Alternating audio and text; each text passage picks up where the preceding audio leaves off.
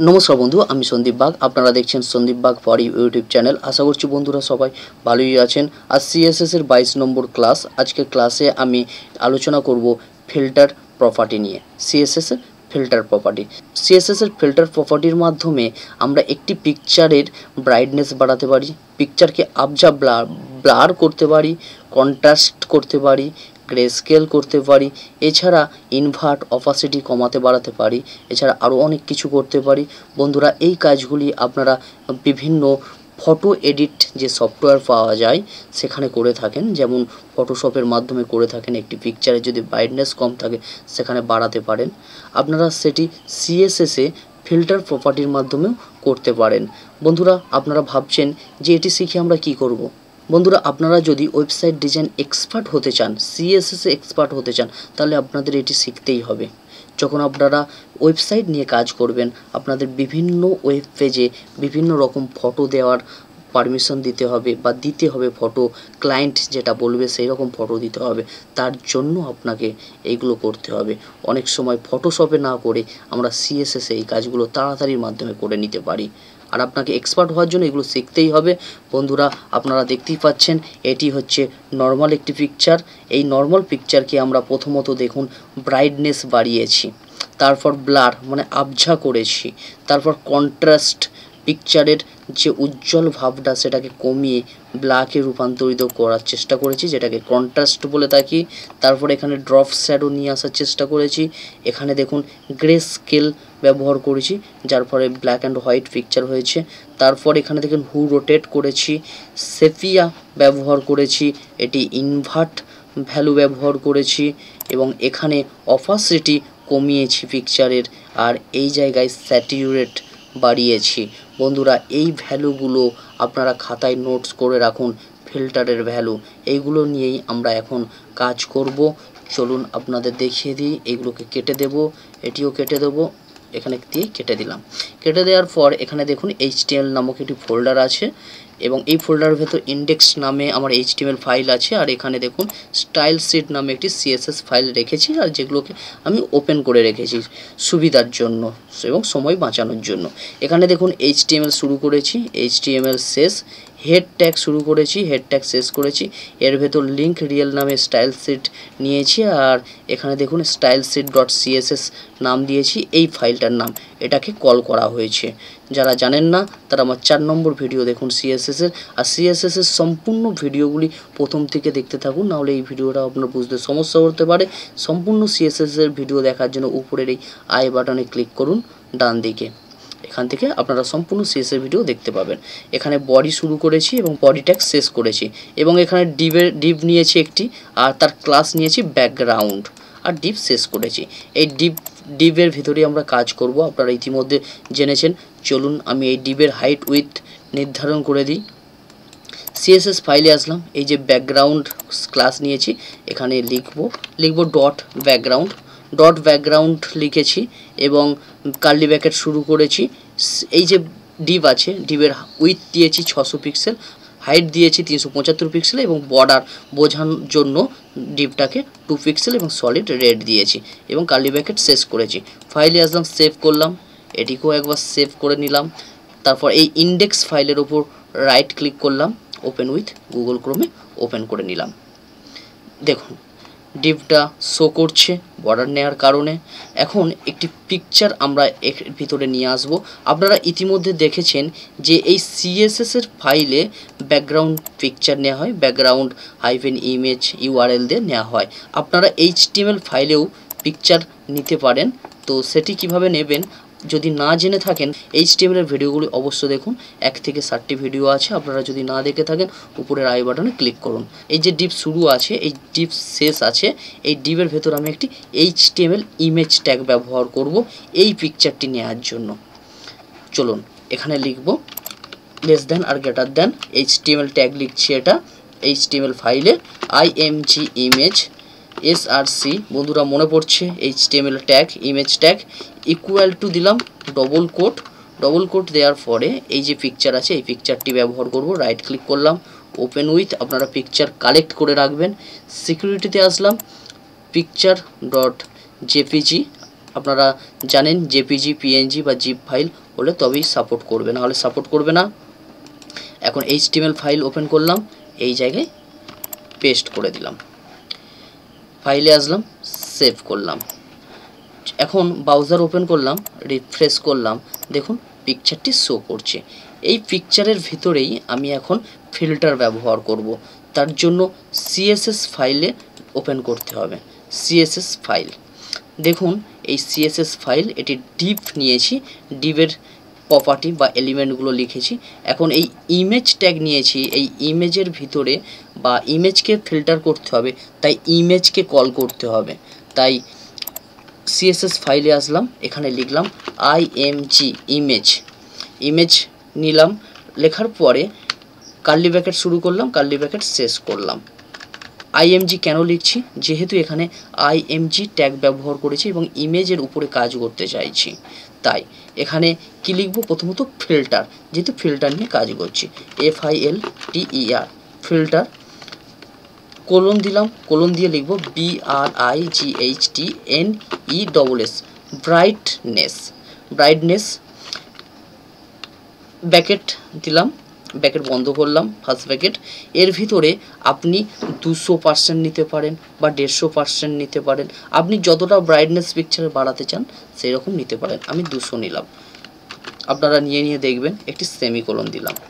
ফাইলে আসলাম সেভ করলাম। ব্রাউজার ওপেন আছে রিফ্রেশ করলাম। রিফ্রেশ করার পর কোনো কিছু দেখাচ্ছে না, কিছু একটা ভুল হয়েছে। চলুন দেখে নিই। সিএসএস ফাইল ওপেন করলাম। এখানে দেখুন ব্রাইটনেস বানানটা ভুল আছে ডবল এস হবে B R I G H T N E double S পুনরায় ফাইলে আসলাম সেভ করলাম, এখন রিফ্রেশ করলাম। রিফ্রেশ করার সঙ্গে সঙ্গে দেখুন, দুশো পার্সেন্টের মতো ব্রাইটনেস বেড়েছে। এখন যদি ব্লার করতে চাই পিকচারকে যে কোনো পিকচারকে যদি আপনি ব্লার করতে চান, তখন ব্লার ভ্যালু লিখবেন।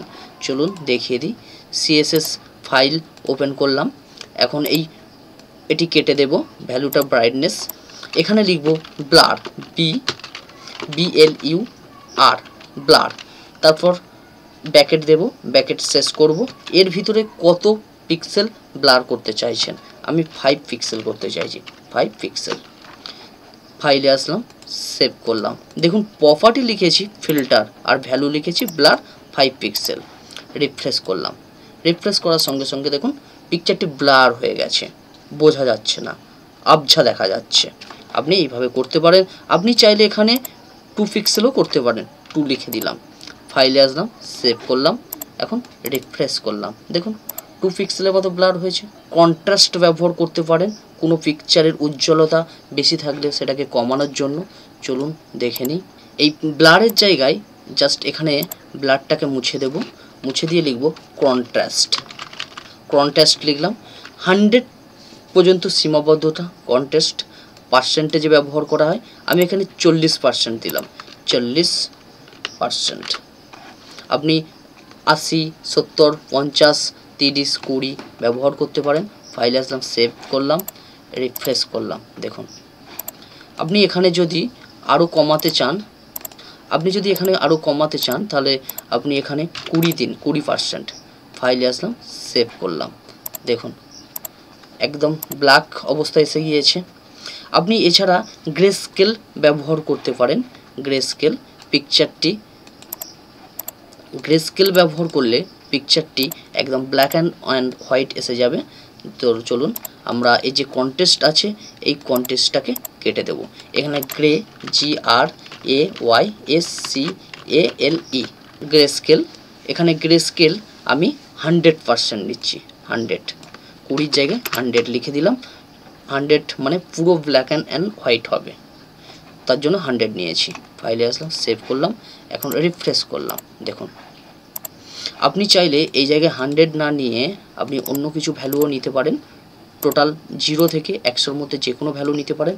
আমি দিয়ে দিলাম সত্তর পারসেন্ট তাহলে দেখুন, হালকা কালারফুল থাকবে এখানে। দেখুন, হালকা কালারফুল দেখতেও ভালো লাগছে। আপনি চাইলে এইভাবে ফিল্টার ব্যবহার করে যে কোনো পিকচারকে সুন্দর বানাতে পারেন। চলুন এখন আপনাকে দেখিয়ে দিই ড্রপ শ্যাডোর কাজ কি। ড্রপ শ্যাডো এখানে ড্রপ ড্রপ শ্যাডো নেব। তো গ্রে স্কেলটাকে কেটে দেব D R O P drop ড্রপের পর একটি hyphen Dev S H A D O W hyphen দিয়েছি শ্যাডো লিখেছি। ড্রপ শ্যাডো মানে কি? এই যে পিকচার আছে, এই পিকচারের চারধারে শ্যাডো আসবে। তার ফলে থ্রি আকারে পিকচারটি দেখা যাবে। তার জন্য ব্যাকেটের ভিতরে প্রথমত এইট পিক্সেল দেব এইট পিক্সেল তারপর স্পেস দেব, আবারও এইট পিক্সেল আপনি যতটা চান ততটা পিক্সেল দিতে পারেন, আমি আমার মতো দিচ্ছি। টেন দিলাম পিক্সেল তারপর কালারের নাম দেব। আমি দিলাম জি আর এ ওয়াই গ্রে আপনি আপনার মতো দেবেন। তাহলে দেখুন ফিল্টার লিখেছি, তারপর ড্রপ শ্যাডো তারপর eight pixel eight pixel ten pixel আর কালার গ্রে হবে। দেখুন সেভ করলাম রিফ্রেশ করলাম। দেখুন পিকচারটি থ্রি আকার এসেছে এবং এই দিকটা দেখুন ড্রপ শ্যাডো ব্যবহার করেছি। আশা করছি বুঝতে পারছেন। আপনারা এই যে ভ্যালু আমি লিখেছি, আপনারা এই ভ্যালুকে চেঞ্জ করে ফাইভ করতে পারেন বা এই একে রেড করতে পারেন। আপনারা আপনাদের মতন ব্যবহার করতে পারেন। দেখুন রিফ্রেশ করলাম, দেখুন। আশা করছি বুঝতে পারছেন। এরপর আপনি চাইলে ইনভার্ট ব্যবহার করতে পারেন।